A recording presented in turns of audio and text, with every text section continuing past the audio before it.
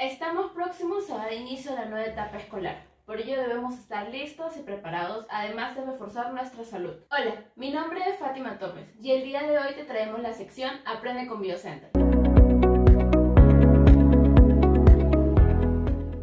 El día de hoy hablaremos acerca de los nutrientes DHA y ARA. ¿Por qué son recomendados en la etapa escolar? ¿Cuáles son sus funciones?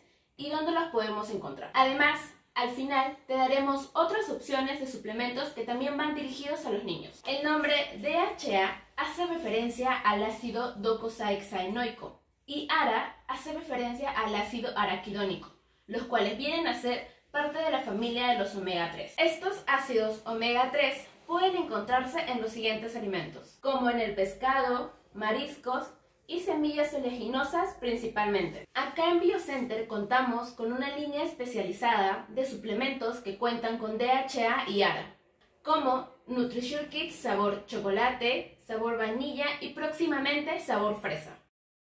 Nutrition Kits tiene como base suero de leche, leche descremada, reforzado con DHA y ARA y otros nutrientes que hacen que sea un suplemento completo. Potencia el crecimiento y desarrollo de los niños, refuerza el sistema inmunológico. Otros suplementos dirigidos para niños son Kids, fuente de proteína vegetal, brinda protección a la flora intestinal, además de ser fuente de energía para poder realizar nuestras actividades diarias y nos brinda vitaminas y minerales de origen vegetal. Multivitaminas Kids Brinda energía para poder realizar nuestras actividades diarias. Interviene en el refuerzo de la memoria, además de ser fuentes de vitaminas y minerales de origen vegetal. Esto ha sido todo por hoy en nuestra sección de Aprende con BioCenter. Recuerda mantenerte al pendiente que se vienen varias novedades. Y si quieres adquirir alguno de estos productos, puedes consultarlos por nuestras redes sociales o números de venta.